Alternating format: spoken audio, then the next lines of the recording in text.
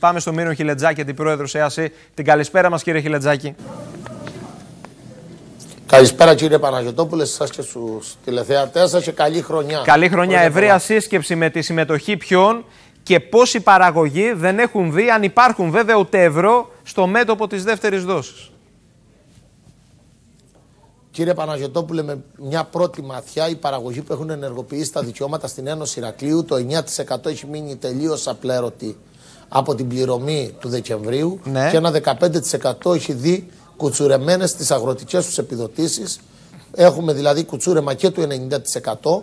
Δηλαδή, έχουμε δει άνθρωπο που έχει πάρει το 1 ένατο και άνθρωπο που έχει πάρει το 50% ή άνθρωπο που του έχουν κουτσουρέψει ένα 10%. Ε, το 15% έχει μείνει με ένα μεγάλο τσούρεμα στις αγροτικές επιδοτήσεις και ένα 9% δεν έχει πληρωθεί καθόλου. Σήμερα το Παγκρίτιο Συντονιστικό συνεδριάζει για την κακή πληρωμή του Δεκεμβρίου και για να δούμε τι, το, τι μέλη γενέστε στο κομμάτι που λέγεται διορθωτικές, στο κομμάτι που λέγεται ε, νέα πληρωμή τέλος του Φλεβάρι όπως ανακοίνωσε ο ΠΚΠ και το κομμάτι που έχει να κάνει τι διορθωτικές μπορούμε να κάνουμε. Δυστυχώς σήμερα το απόγευμα Ναι. ήρθε ένα χαρτί από τον συντονιστή του έργου που λέει ότι διακόπτεται η σύμβασή του γιατί δεν έχει ανανεωμένη σύμβαση. Η σύμβαση διακοπ... ε, τελείωνε 31 Δεκάτου το 21. Αυτό αυτόματα σημαίνει ότι εμείς δεν έχουμε σύστημα για να μπορέσουμε να κάνουμε τις διορθωτικές που πρέπει να κάνουμε. Αυτό σημαίνει ότι θα έχουμε μια κακή πληρωμή το Φλεβάρι αν ο οργανισμός που λέγει το ΠΚΠ και το ίδιο το Υπουργείο Αγροτικής Ανάπτυξης δεν κοιτάξει να βρει μία λύση.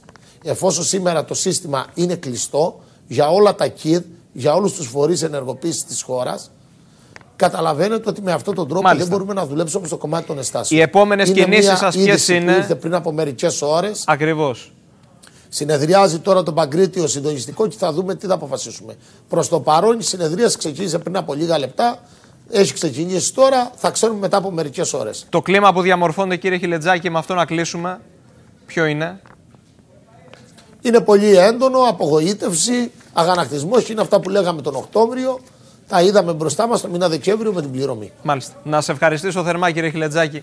Να είστε καλά.